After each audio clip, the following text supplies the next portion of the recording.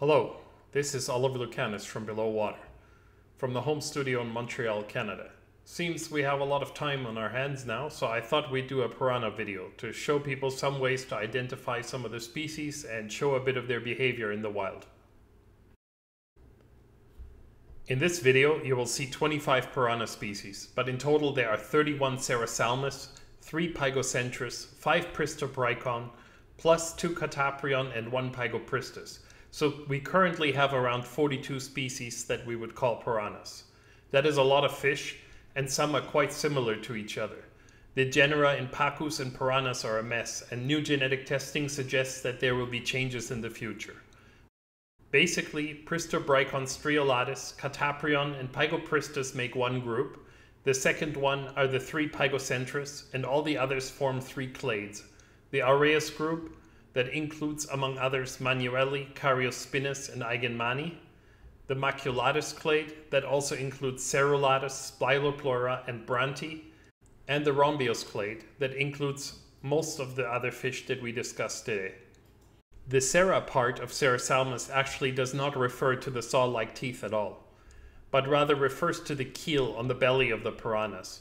Here the scales have fused and formed this sharp serrated edge, likely so that it is harder for predators to swallow the fish.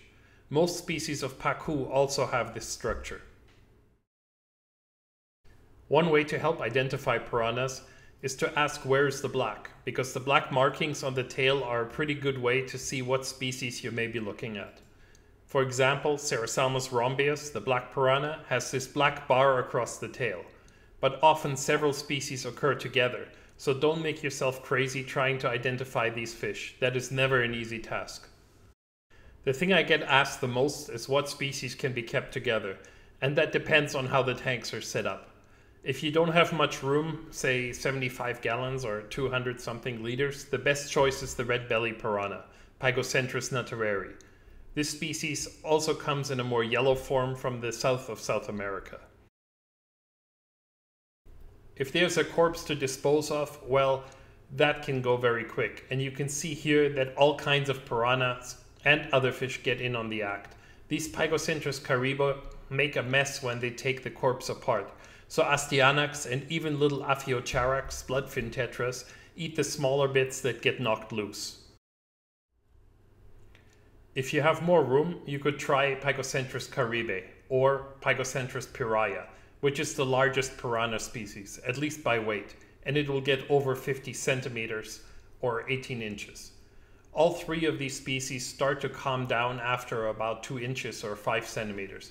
So I would say that this is the size to try and get a group together. Piranhas in groups always require some patience, and you have to be ready to lose some fish in the process.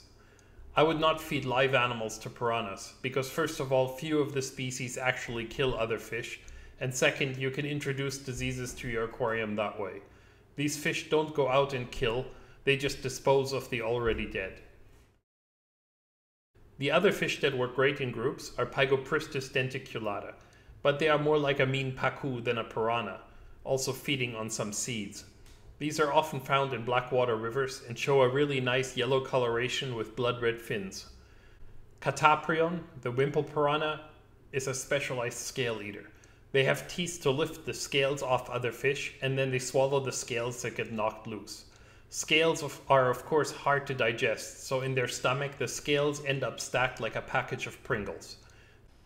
My favorite genus is Pristobrycon, because this group of five species has the most beautiful piranhas.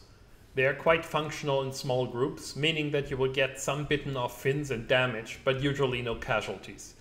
In nature, piranhas usually breed when the rainy season has flooded otherwise dry land and at the time there is tons of food available for the young, and shallow water places that the males can use to build and defend their nests. At that time, the color often changes. Most piranhas turn dark or black, but these Pristobrycon striolatus get these crazy looking tiger stripes. Once the males have established their territories, they will make these shallow nests at more or less equal distance and then try to entice the females to come in and lay their eggs. The males then guard the nests and area by themselves until the larvae are free swimming. As beautiful as this habitat looks, it is like this for just a few weeks of the year. The rest of the year it is either dry or just a swampland, or cloudy because all that algae will bloom from the nutrients of the decaying plants. Pristobrycon maculipinnis occurs in small clearwater creeks. It has big green spots and bright red fins, maybe the most beautiful of all piranha species. And it has an equally nice sister species in Pristobrycon careospinus, in the rapids of larger rivers. The spots are smaller, but the fins are also red. This is filmed in the middle of a rapid, so the camera is under a huge boulder and this group of Pristobrycon careospinus would stay around this area, attacking smaller fish, mostly characins. I think the small fish are exhausted when they come through the rapids and maybe a little bit unaware, so the fin-biting piranhas have an easy time to feed. In the aquarium, they get along quite well, and just like all piranhas, they don't need live foods. I feed them with shrimp and some raw chunks of fish. They don't bite each other much unless you stop feeding them for several days. In part 2, we'll look at the largest group, the real Serrasalmus. Make sure to subscribe to this channel so we can do more of these videos and click on part 2 to see all the other species.